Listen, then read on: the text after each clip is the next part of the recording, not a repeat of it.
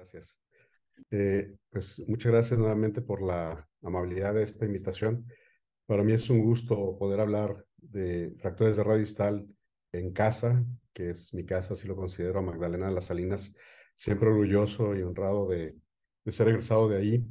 Y bueno, en este día eh, tengo el gusto de compartir estas charlas con el doctor René Barraza Rambide, un gran amigo, y también con el doctor este, Raúl Emérico, que sin duda son dos personas que tienen experiencia en el tratamiento, ambos cirujanos de la mano también, y por supuesto gente que ha estado ya en experiencias, eh, profesores tanto nacionales como internacionales, pues eh, aceptar muy amablemente a ambos en participar para tratar de hacer un 360 grados en el tratamiento de las fracturas de radistal, que sin duda eh, tenemos que darle un cambio a la forma de ver y de tratar esta lesión.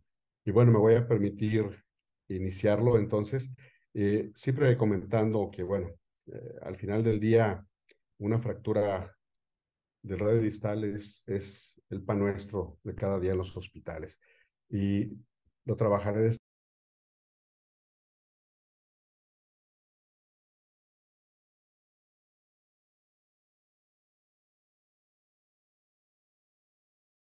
porque todavía seguimos con los conceptos de Abraham Coles, donde decía que sea como sea, iban a pegar, sea como sea, no le iba a doler y el paciente iba a mover. Pero si alguien ha tenido la experiencia de una fractura de radio distal, sobre todo en la edad, en el adulto mayor, se darán cuenta que no es los conceptos que Abraham Coles decía.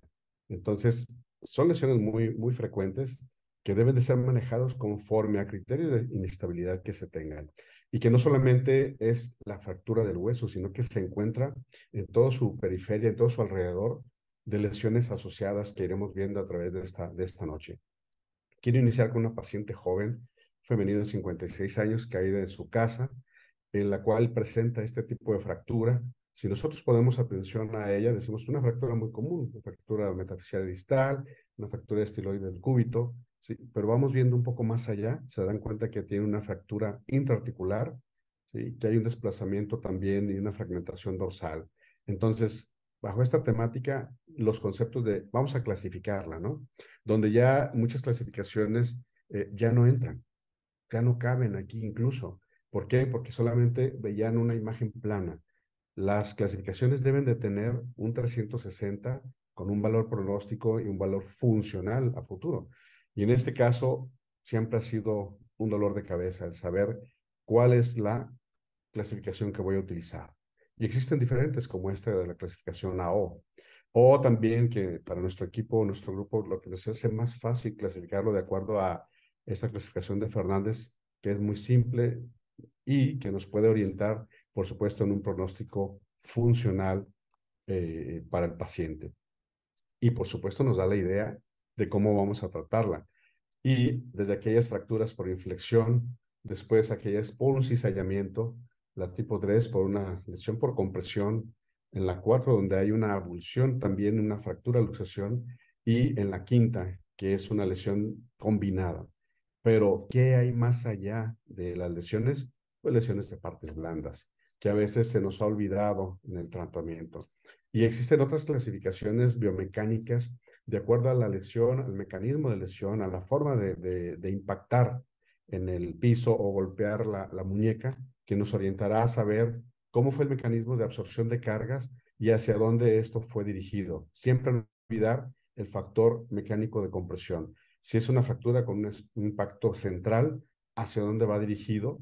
Si es más eh, radial, por supuesto la estiloides del radio. Si es más hacia cubital, pues está a la fosa del semilunar, pero también a la zona del, cúbito. Entonces, de ahí la importancia de saber y que nos puede dar desde una fractura simple, aparentemente, como se ve en la imagen de la izquierda, o a una fractura que se vuelve más compleja, como la imagen de la derecha, que insisto, tendremos que voltear también a ver partes blandas, cómo están las partes blandas de esa fractura. Y preguntarnos, siempre aventando la pregunta al aire que, o que nos hacía nuestro residente de mayor jerarquía o nuestro profesor, ¿no? ¿Y ahora cómo lo vamos a tratar? ¿Qué herramientas tengo? Desde un yeso, ahora una fibra de vidrio, un fijador externo, una placa dorsal, una placa volar, una fijación de fragmento específico. ¿Qué tengo en una fractura simple como esta? donde puedo incluso manejarla de manera conservadora, o aquellas que aparentaran ser simples, desde regresa, eh, a la reducción, ponle un yeso, y que pueden tener una combinación aparentemente de estabilidad que nos pueda orientar hacia un manejo conservador, pero si ponemos más atención en otras áreas, quizás no sea esa la mejor opción. O aquellas que aparentan ser estables, pero que vemos que tienen trazo articular y una lesión dorsal, ¿sí? Entonces nos orienta que la fragmentación en tres o en cuatro partes de esa zona articular nos cambiaría entonces la forma, porque de todas a todas se va a impactar si nada más hacemos un manejo conservador. O aquellas que están muy claras, ¿no? Que tienen una fragmentación totalmente y que aparentemente, aún con la dificultad que esto pudiera llevar, podemos hacer un tratamiento quirúrgico que pueda orientarnos a volver a restablecer una zona articular de forma adecuada. Siempre es importante, si se dará el manejo así, tratar las partes blandas, pero no solamente en lo quirúrgico, también en el manejo conservador, que es fundamental. No solamente recuerdo al doctor Benjamín que decía que si nos quedaba bien sacudíamos la radiografía y la traíamos presumiendo por todo el hospital. Y si no nos quedaba muy bien, la escondíamos abajo de la bata, ¿no? Pues es la realidad. Es el cuidar no solamente de la reducción ósea, sino también esas partes blandas independientemente si utilizamos una placa, si utilizamos un fijador o si utilizamos un yeso. Y la fractura de radio distal guarda un fundamento importante por ser la fractura más frecuente. En la infancia, sin duda, lo más frecuente. Más entre los 6 años y los 14 años. Más todavía entre los meses de abril a septiembre. Y la estadística está muy clara, muy evidente. En el adulto, la edad productiva, la lesión de alto impacto. Lesiones severas como estas imágenes que nos muestran ahora las tomografías que nos dicen, bueno, ¿por dónde inicio? ¿O qué pegamento voy a utilizar para tratar de acomodar la fragmentación? Y aunque hay artículos que nos hablan muy claramente de cómo trabajar esta parte, no olvidar las partes blandas. Importante, voy a cansarme esta noche de, de hablar de esto, ¿no? Y entonces poder nosotros bajar el esquema de qué utilizo. ¿Por qué? Porque radio distal no solamente es hueso, es un conjunto de partes blandas, ligamentos, cápsulas, arterias, y que nos habla de que se puede acompañar de lesiones asociadas, como se verá en una plática más adelante, y que sin duda, si no cuidamos este detalle, puede dejar una radiografía muy bonita, muy adecuada, pero partes blandas que darán una función baja en un paciente, como es la lesión del fibrocartílago triangular, o cualquiera de las otras lesiones ligamentarias que en la radio carpal existen y que nos ayudan y nos favorecen el movimiento y la estabilidad tanto en pronación como en supinación, tanto en desviación radial como en desviación cubital. Pero más allá de todo esto, conocer estos ligamentos, insisto, radiocarpales, intercarpales, que nos pueden favorecer esta estabilidad y hablando de las fracturas, el cómo poder eh, diferenciar entre un manejo conservador o no.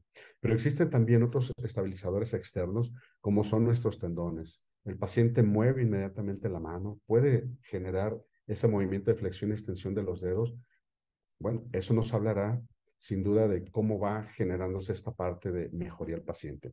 ¿Qué decir del adulto mayor?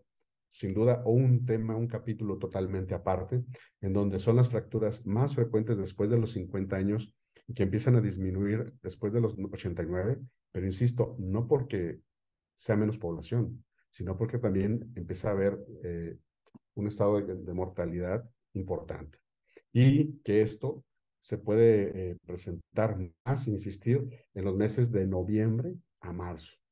Y esto en casa en Magdalena de las Salinas creo que la estadística es igual como en otros países, como nosotros lo marcábamos. Y en donde en los pacientes principalmente las lesiones ocurren en casa. Entonces no son accidentes de fuera, sino en casa misma. Más también cuando tienen algún animalito en casa, perrito, un gatito, que ya se sabe que es un factor de riesgo porque se meten entre los pies del adulto mayor haciéndole perder el equilibrio de una forma sencilla. 13% ocurren en la vía pública y casi un 9% en algún evento social. Siempre el factor de obesidad juega un papel importante en este tipo de lesiones y que una simple caída nos puede orientar a un daño. Más insistir mucho arriba de los 50 años, más frecuentemente en mujeres y no solamente en nuestra población mexicana.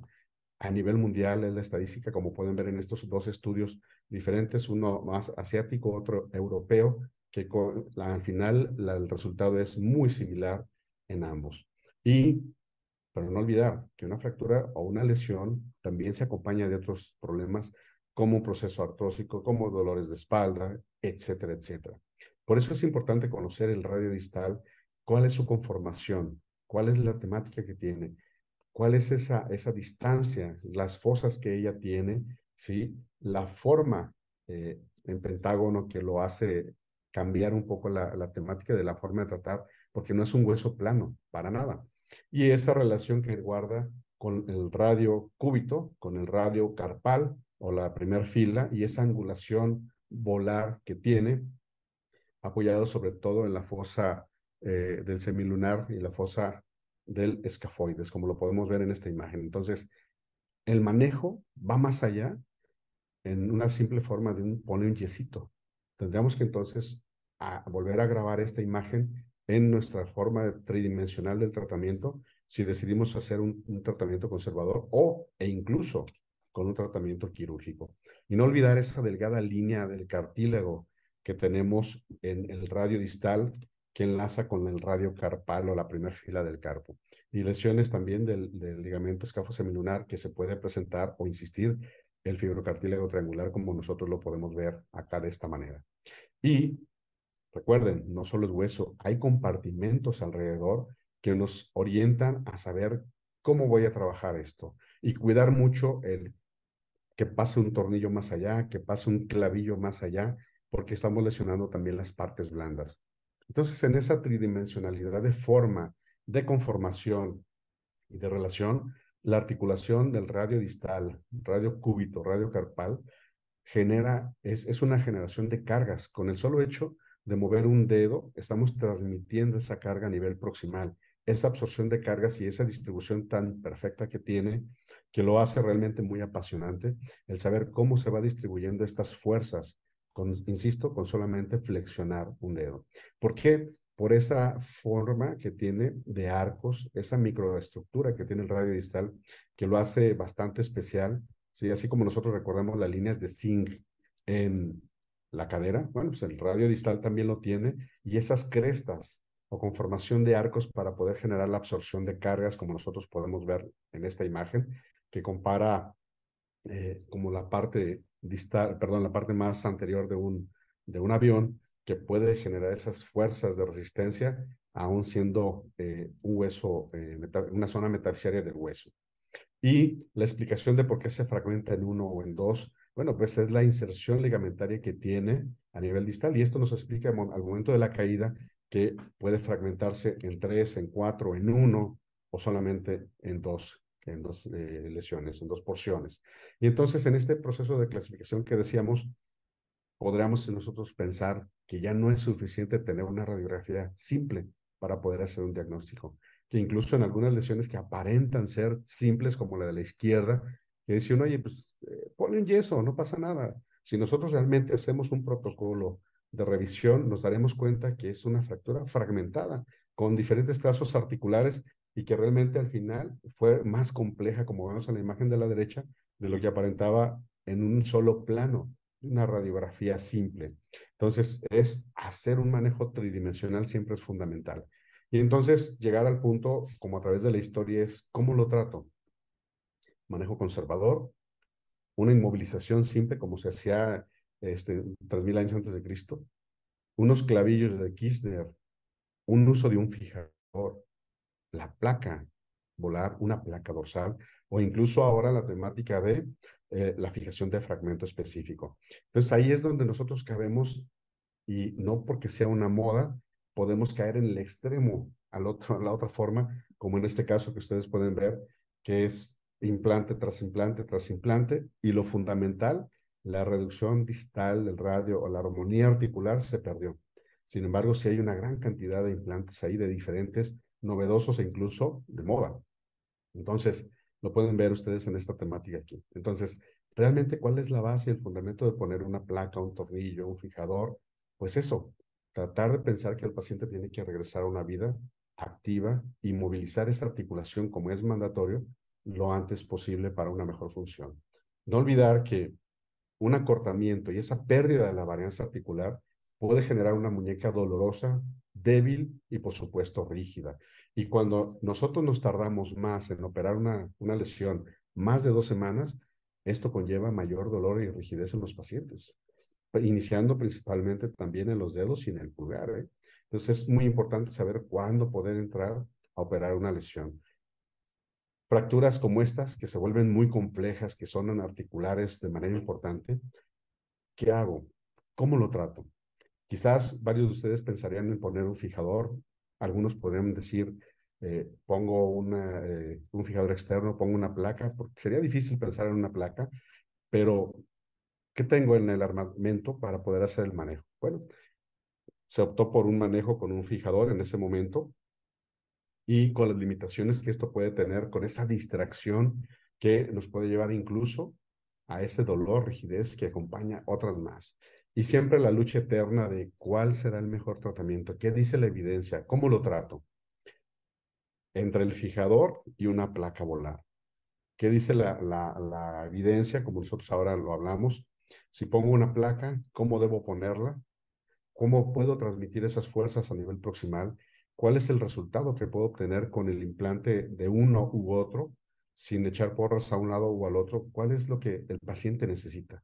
Creo que es ahí la clave de cómo podemos trabajarlo. Y aunque existen metaanálisis incluso en comparaciones con solo clavillos en relación a una placa, vemos que no va tan mal, pero ¿cuál es la mejor técnica? Llenar al paciente de tantos clavos, ponerlos de manera adecuada y volver rígida una radio cubital distal, o incluso lesionar partes blandas con los mismos, como en este caso los tendones, como en este caso las ramas sensitivas del nervio radial, que como ustedes saben, siempre pensamos en el estiloide, sí, claro, pero ¿qué hay ahí a un lado?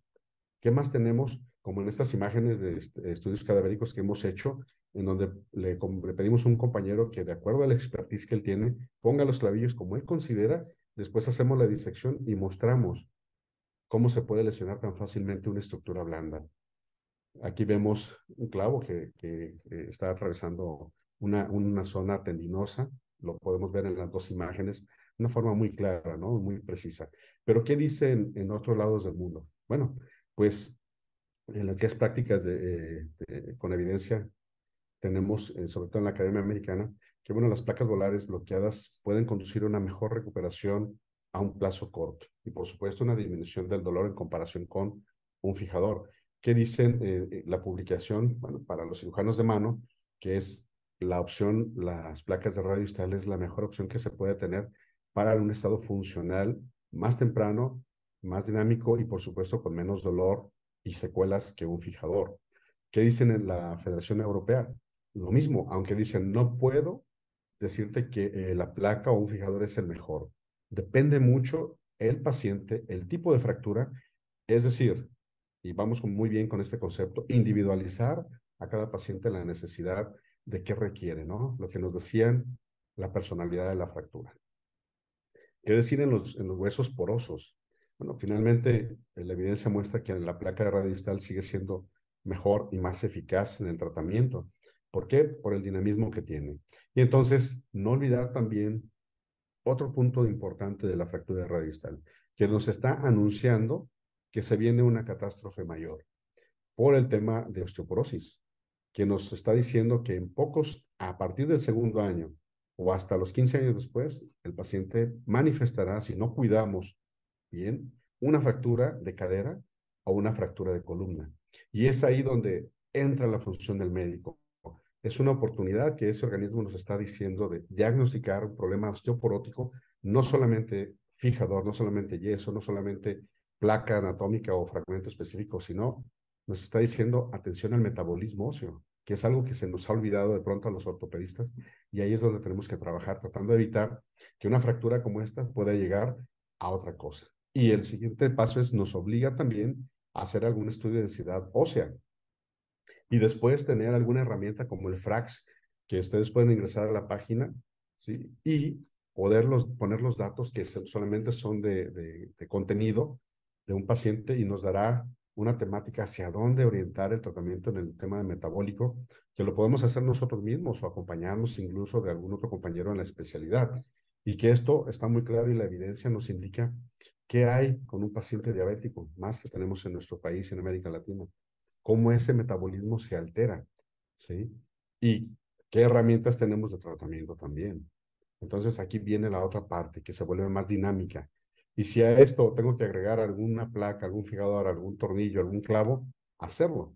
Pero creo que es de generar el tratamiento 360 grados, un tratamiento integral para el paciente, no solamente pelearnos en que si yo pongo el fijador, yo pongo la placa y la experiencia me dice, no, es cómo estamos tratando al paciente de manera integral. ¿Puedo usar alguna plaquita gancho que me pueda orientar a manejar esa estabilidad mayor? Claro, es válido y es una gran herramienta que tenemos ahora. Tengo en mis placas que generen una dirección de forma adecuada de los pernos, por supuesto, es magnífico porque le permite un soporte mayor a ese radio distal y que en pocos días tengamos moviendo un paciente. La pregunta eterna es, ¿sabe usted lo que le está poniendo un paciente cuando pone una placa de un acero quirúrgico o cuando le pone algún titanio? ¿Ha pensado en el estudio metalográfico que realmente esto tiene? es una gran responsabilidad que tenemos porque nosotros somos los que ponemos este tipo de implantes y es fabuloso hacerlo. Otro caso de esta paciente de 70 años con una fractura, como lo podemos ver aquí, si ustedes la analizan también, pensaríamos que es una fractura simple y quizás la mayoría diría, me atrevo a decirlo, ponle un yesito. Cosa que es un error, vemos que es una conminución dorsal, tiene un trazo articular también, tiene una fractura del estiloides cubital, lo cual nos habla de un proceso de inestabilidad. Entonces tenemos que generar este punto de ir los criterios de la Fontaine y saber si el paciente realmente requiere un manejo quirúrgico. Lo clasificamos y por supuesto entra, entra dentro de la clasificación tipo 3. Y con esto, ¿qué voy a hacer ahora? ¿Qué es lo que más necesita esta paciente? Primero necesita que le estabilicemos la fractura. Después, por supuesto, que manejemos el dolor. Y recordando esta forma de transmitir, la forma de los arcos del radio distal, la conformación y esas fosas de las cuales hablábamos, la relación radiocarpal, la forma volar, ¿sí? De, sobre todo la zona de la eh, fosa del semilunar, ¿sí? ¿Cómo se conforma? ¿Puedo tener un criterio para usar un fijador? Pues no, este tipo de fracturas no lo permite. Entonces, con base en esto, sí, si es un fijador, hay muchos en moda que ahora ya no, no tienen que ir hacia el metacarpo, sino que se pueden usar directamente de ahí, pero que los resultados no han sido como no se planea. ¿Cómo lo voy a clasificar? ¿Qué lesiones ligamentarias tiene? Y si la misma fractura por sí sola me puede generar un síndrome complejo regional o si todavía le voy a aumentar más riesgo con el implante que voy a colocar. La evidencia dice que puedo utilizar cualquiera de estas dos imágenes, como lo mencionaba, desde un clavo, y que, insisto, la evidencia no va tan mal con clavillos, pero saber cómo los voy a acomodar para tratar de evitar este tipo de lesiones, como hablábamos hace un momento. Pero tampoco caer la simplicidad de poner un tipo de implante que no es para un radio distal, como lo vemos en esta imagen. Ya decíamos que la evidencia decía más hacia una placa, más hacia un, una forma de un tratamiento directamente.